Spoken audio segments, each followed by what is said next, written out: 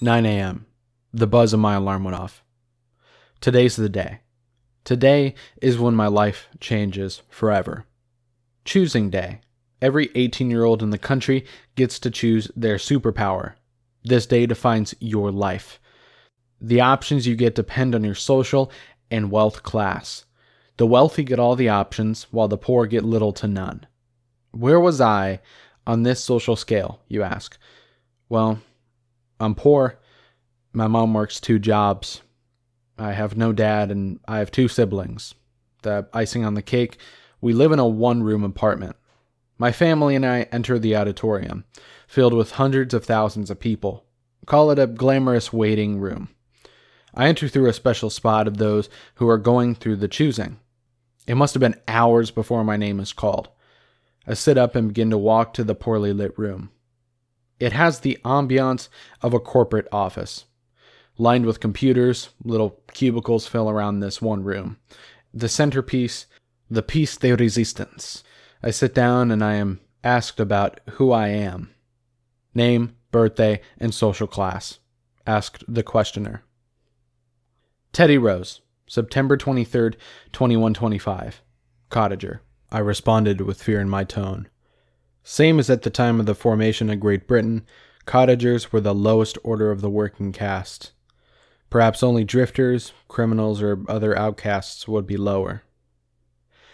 The choosing will begin shortly. You have 30 minutes. Choose wisely. The man walked out in a heartbeat.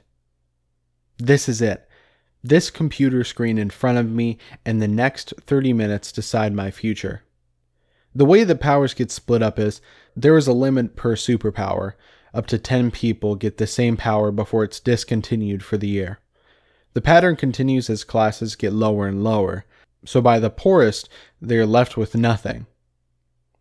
This idea of not having a choice was a reality that I brought myself to accept if it would happen. A blue screen with bolded white words saying, Welcome, here are your options, choose wisely, with a small clock in the corner that read 11 a.m. This can't be happening. There must be something wrong with the system. My heart was racing. I had every single superpower I could choose from in front of me. There must be a mistake. I'm poor. I was prepared to walk out empty handed. Telepathy, speed, super strength, smarts were just a small portion of the options that I had. 11:10 a.m. 10 minutes had been wasted on me frantically looking through thousands of possibilities. An important note is based on your superpower is your job choices. Superpowers such as super strength and ultra smartness are the top two highest paying job requirements.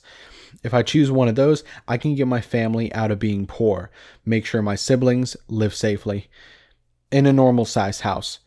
Or I can choose superpowers such as stealth and invisibility and work for the government as a spy.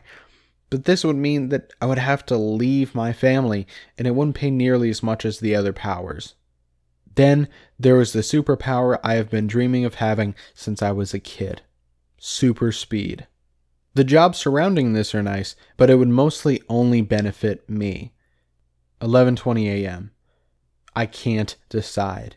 Morally, I would choose the high-paying superpowers to help my family, but I've dreamt of super speed since I was a kid.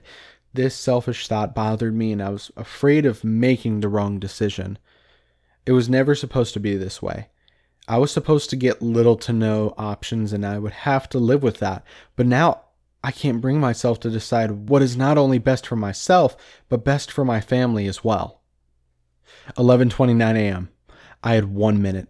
This was the last minute, the most important minute of my life. A single sweat drop went down my face. Speed, strength, stealth.